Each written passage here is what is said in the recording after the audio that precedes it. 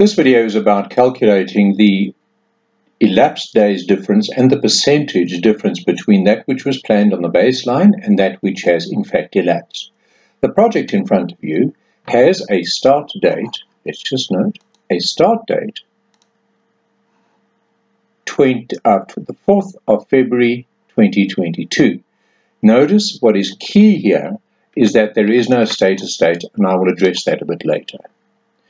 So we're going to add some customized columns, some of which might seem a little strange, but we'll be explaining that. The first customized column we're going to be adding is a number column, and that number column we will rename duration. Now I know the column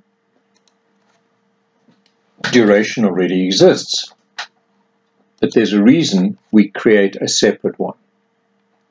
So we're going to say duration in days.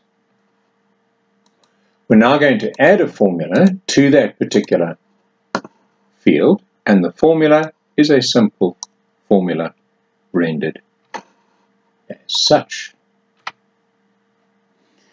Now, once again, there we go, and we will see five days, one week, two days, two days. Why, you may ask, are we adding that column? That is because Microsoft Project originally calculates duration by virtue of minutes, believe it or not.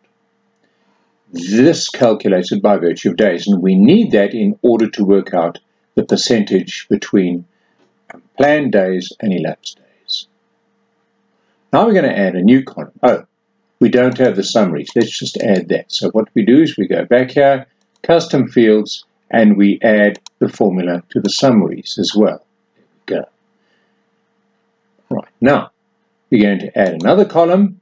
This column is going to involve a very elaborate formula. Let's go to number. And let's uh, rename this field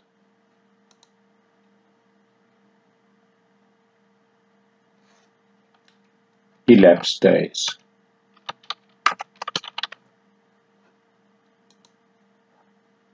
Let's put a formula in and we're about to see that MS Project has a small bug here, but nothing serious.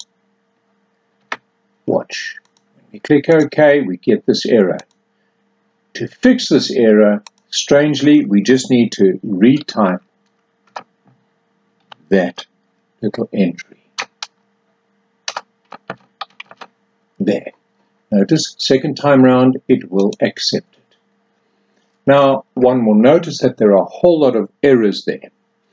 And that's simply because, let's just, uh, we'll do the summaries later. That's simply because we have no reference point. We need a status date. So let's go back to project, project information, and set the status date as today.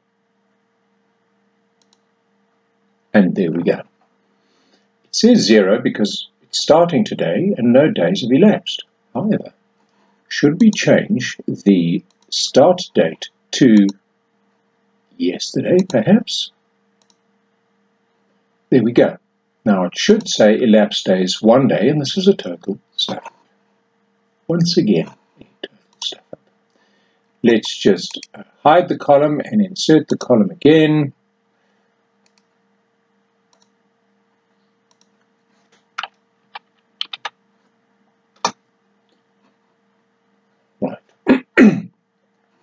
Let's just set the baseline again.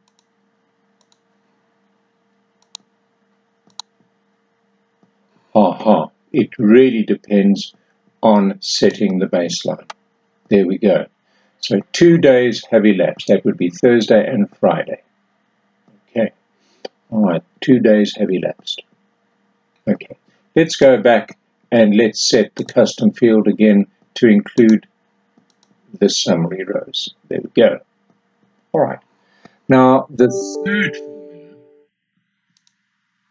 the third formula is going to be another, uh, it's in fact going to be a uh, another number field, and we are going to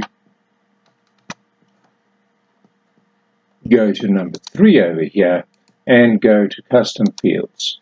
And into this one, this one we are going to put percentage. So rename a percentage complete. Okay, over here. And here we're going to put in a simple formula. And that formula is going to be num number 2 divided by number 1.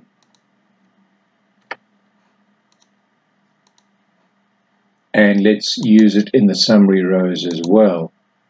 Notice 0.4% of the entire duration. Okay, well, not 0.4%, that's um, 25%. Okay, all right, now we want to render that as a proper format and we add yet another column. And this one will be a text column. And the text column is going to have the following formula. Let's rename it percentage total. Let's put a formula in and that formula will be format